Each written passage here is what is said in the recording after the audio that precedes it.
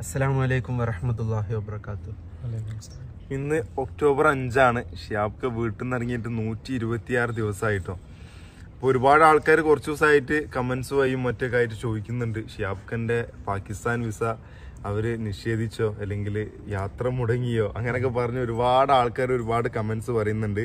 പിന്നെ അതുപോലെ തന്നെ ഷിയാബ്ക്ക് ബുദ്ധിമുട്ടാണോ എന്ന് പറഞ്ഞാൽ ഒരുപാട് ഉമ്മാരും മറ്റൊക്കെ ടെൻഷൻ അടിക്കുന്നുണ്ട്. ഒരുപാട് ഫേക്ക് ന്യൂസ് ഒക്കെ വരുന്നുണ്ട്. അപ്പൊ സത്യാവസ്ഥ എന്താന്നുള്ളതൊക്കെ ഇനി ഷിയാബ്ക്ക പറയും. ഇത് ഇങ്ങനെയല്ല ഇന്ന് തുടങ്ങേണ്ടിയിരുന്നത്.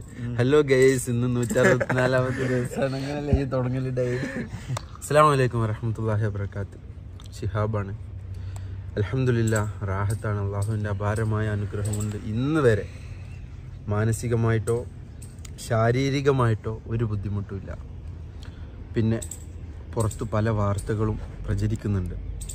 പച്ചക്കള്ളം മാത്രമാണ്. അള്ളാഹു അക്ബർ എന്ന അള്ളാഹുവിന്റെ അള്ളാഹു അക്ബർ അള്ളാഹു വലിയവനാണ്. ബിസ്മില്ലാഹിർ റഹ്മാൻ റഹീം എന്ന അള്ളാഹുവിന്റെ നാമത്തിൽ ഞാൻ പറയാണ് പച്ചക്കള്ളമാണ് ഈ പ്രചരിക്കുന്നത് മുഴുവൻ. പച്ചക്കള്ളങ്ങൾ മാത്രമാണ് പ്രചരിക്കുന്നത്. പാകിസ്ഥാൻ എനിക്ക് വിസ നിഷേധിച്ചിട്ടില്ല. തെറ്റിദ്ധരിക്കുന്ന വാർത്തകൾ പറയുന്നതാണ്.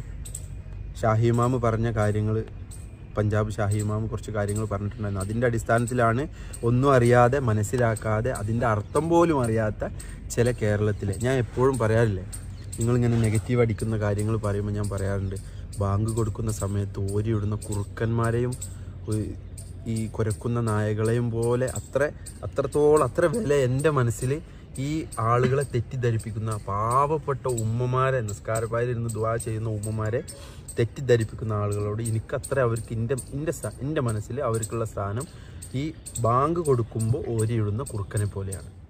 അത്രേ ഉള്ളൂ.